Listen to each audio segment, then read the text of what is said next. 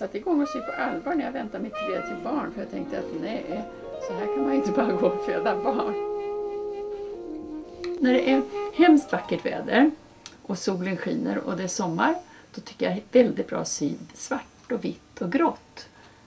Och när det är hemskt tråkigt väder och dimman ligger tät och det är dystert allmänt, då syr man i rött, orange och guld.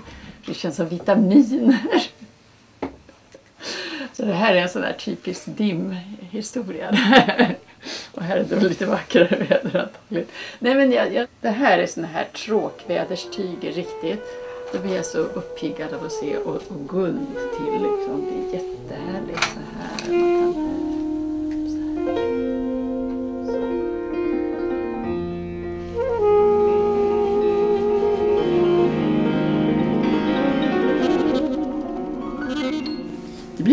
bra grejer för mig om jag ska göra på beställning. Då, då dör de liksom på något sätt innan jag har satt igång. Ja, vad är mest spännande? Kanske att se hur det blir, fast inte, eller just när man gör det. Inte när det är färdigt, utan när, när man känner att det, det, det är en sån härlig känsla just det där att nu blir det nog som jag vill ha det, tror jag. Och det tar sig på något sätt. Det, det är väl som man, man skriver eller vad man gör. Liksom man känner man kommer in i sådär, oh, nu, nu blir det så tror jag som det ska vara. Ja, det, men det är jätteroligt. Nej, men jag ser, jag ser, ser in, inåt på något sätt ett, ett, ett sorts landskap kan man säga. Tredimensionellt någonting som jag ser. Och, och det är lite svårt att förklara men det, ungefär så här ser jag ut inuti.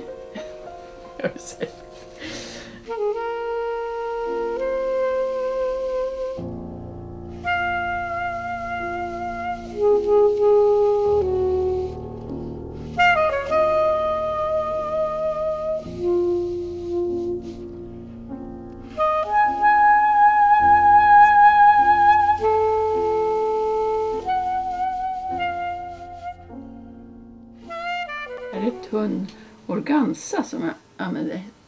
Ett siden, ett helsiden, tunt, tunt tyg. Som, eh, ja, man ser det lite grann här. Att det, och man lägger det ovanför varandra, det blir liksom som en akvarellyta för att då täcker de varann lite långt. Så det blir ljusare emellan här och så mörkare, det ligger många på varandra så här. Det här är, är akrylfärger som jag spär ut med vatten. Förresten, det kan vara nästan vad som helst. Jag drar mig inte för någonting. Vad är det värsta? Som du säger, du drar dig inte för någonting. Nej, Vad är det jag, grövsta? jo, nej, men jag har gjort till exempel äggoljetempera. och så jag, det blir väldigt hårt. Så jag har broderat på det och då är det en slags utmaning för det blir väldigt hårt att sticka i. Och då blir hela broderiet väldigt annorlunda eftersom man, att det är hårt och svårt att sticka i det. Nålen är segt, går igenom som skinn nästan. Nej, men det var roligt. Och sen har jag bara målat med sån här mm, vit täckfärg, sån här som man målar väggar och tak med. Det är också en särskild yta som är lite rolig att sticka i. Och så. Det, är ju det, det går ut på att man för nålen upp och ner och hur det känns när man sticker i tyget.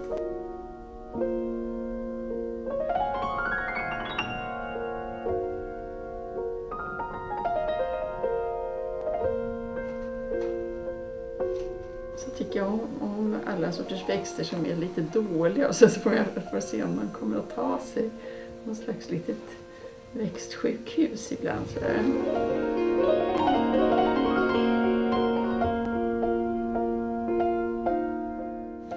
Och det är en sån här kaktus som står hela vintern så får den kanske vatten två gånger och så står den väldigt kallt, inte frost men kallt. Och så och har den jättetråkigt hela vintern och sen får den flytta ut hit på verandan och så får den vatten och då sätter den igång och blomma.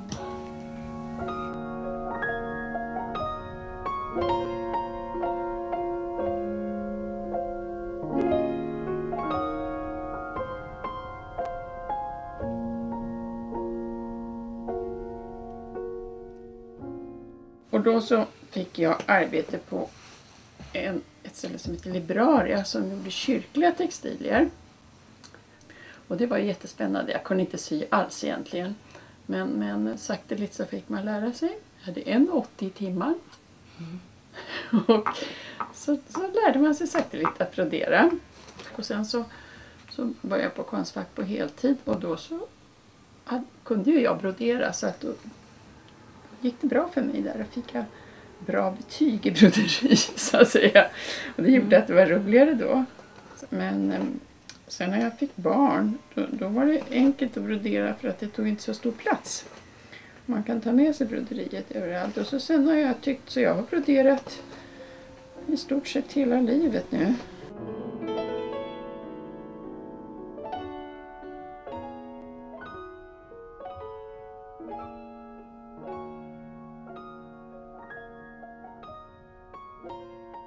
Tycker det är lite, lite roligt det där att det finns kvar.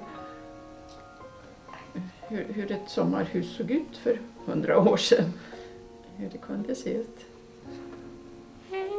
Och sen är det lite roligt det där att folk har bott där förut och det, man, det, på något sätt så känner man sig som någon slags förvaltare i, av huset emellan så att säga.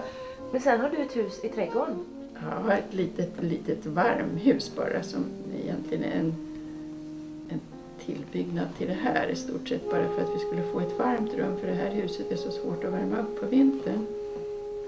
Inuti skulle det vara jättefult att isolera och på utsidan skulle det helt förändra huset också så att det, det tyckte vi var väldigt synd att göra. Nej, men det, det blåser ju väldigt för det ligger så högt. Det, eh, är- det är lite fint också. Det, man lever med naturen på något sätt. Det betyder ju någonting när det blåser och varifrån det blåser. Det gör det ju inte när man bor i stan. Då, då spelar det ingen roll om det blåser 5 eller 10 eller 15 meter i sekunden. Utan det gör det ju här. Är den snart färdig? Vad tror du? Ja, jag tror att den snart är klar. Men jag vet inte riktigt så den får stå så här lite uppspänd ett tag och att jag får titta på den varje dag och se om jag tycker att det är klar. Och jag kallar aldrig mina saker för någonting. De har aldrig något namn för att det får var och en ja, tyda vad, vad den tycker att det liknar. Det kan vara så mycket. Det är så personligt vad man, vad man ser i en sån här sak tycker jag.